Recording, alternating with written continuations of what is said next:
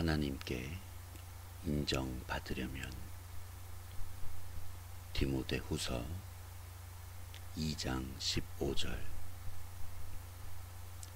내가 진리의 말씀을 옳게 분변하며 부끄러울 것이 없는 일꾼으로 인정된 자로 자신을 하나님 앞에 드리기를 힘쓰라.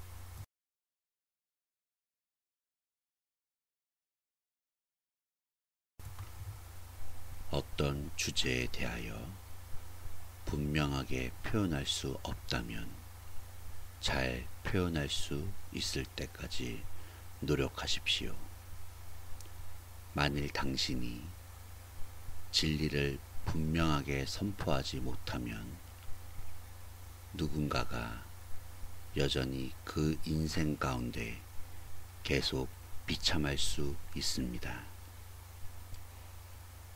하나님의 진리가 당신의 것이 되도록 다시 표현해 보십시오. 그러면 하나님께서는 당신의 표현을 다른 사람에게 사용하실 것입니다.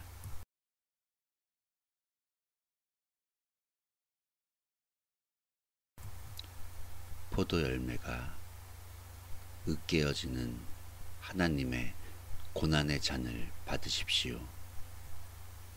당신의 표현이 체험에서 나올 수 있도록 노력하십시오. 그리하면 그 표현이 다른 사람에게 큰 힘을 주는 그러한 귀한 포도주가 될 날이 올 것입니다.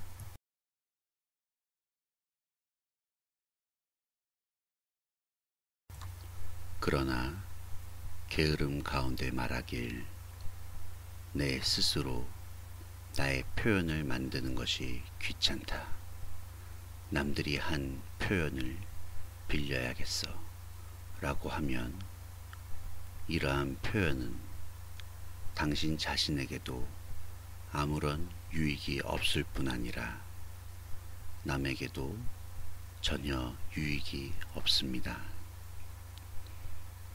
하나님의 진리로 분명하게 느껴지는 것들을 당신 자신의 것이 되도록 다시 표현하려고 노력하십시오. 그러면 하나님께서 당신을 통하여 다른 사람에게 하나님의 진리를 전달하실 수 있는 기회를 얻을 것입니다.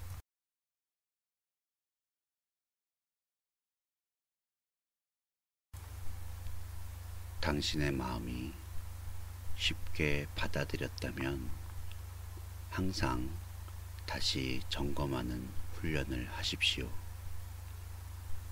마음에 받은 것을 수고를 통하여 자신의 것으로 만들지 않는 사람은 아직 단에 서서 진리를 선포할 자격이 없는 것입니다.